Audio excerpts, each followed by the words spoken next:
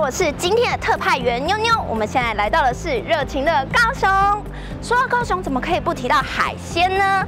高雄有非常多有名的鱼市场啊，还有渔港，比如说前镇渔港、科仔寮渔港，还有非常多丰富的海鲜。那我们废话不多说，赶快跟着妞妞一起前往高雄看看有什么海产吧。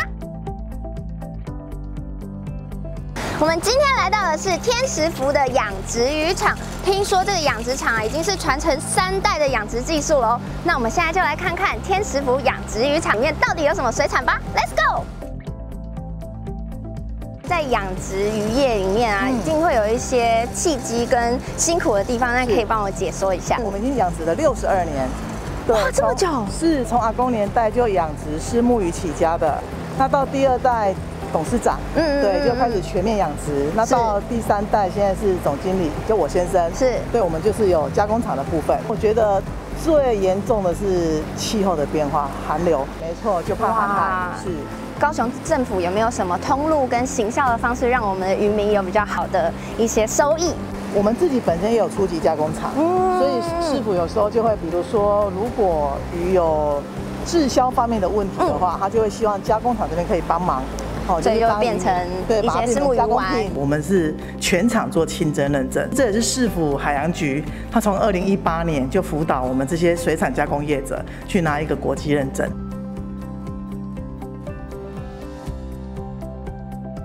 来到高雄，怎么可以错过鼓山鱼市场呢？尤其是新开幕的鼓山鱼市场，就让我带大家去看看新开幕的鼓山鱼市场长什么样子。Let's！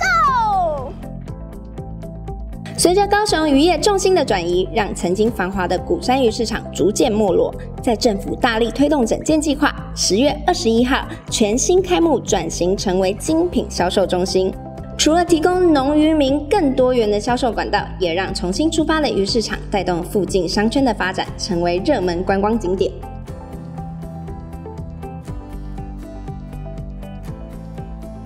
那你今天怎么会来到这个鼓山鱼市场？因为在网络上有非常多部落客推荐这边有全台湾最美的鱼市场。哎，那你在这边有吃到很厉害的海鲜吗？小卷锅烧面，它小卷这么大一个，然后呢直接盖上了所有的面，完全看不到面，很厉害。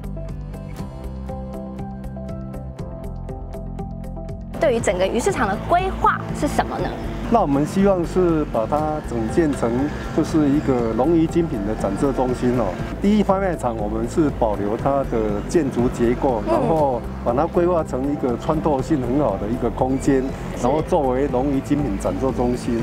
那这个中心的展售区域包括龙鱼精品，包括海鲜料理，还有就是休闲的游戏空间。那第二拍卖场的部分，我们把它规划成一个户外的滨海广场。我们补助渔会总共有十一项的冷链设施，包括诶冷冻库啊，还有冷冻厂啊，还有加工设备。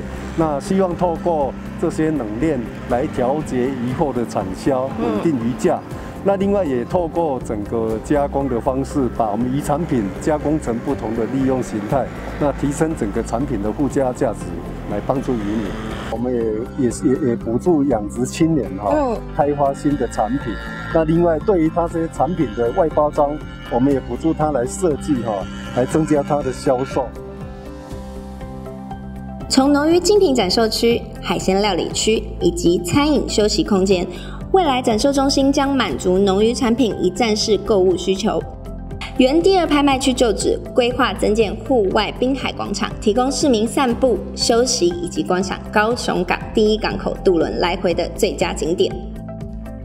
高雄市政府努力帮渔民寻找生计外，也加强渔业基础建设，大力推广高雄水产，让渔民辛苦工作后可以得到稳定收获。利用在地资源打造高雄特色渔产品，增加民众购买意愿，以实际行动帮助渔民。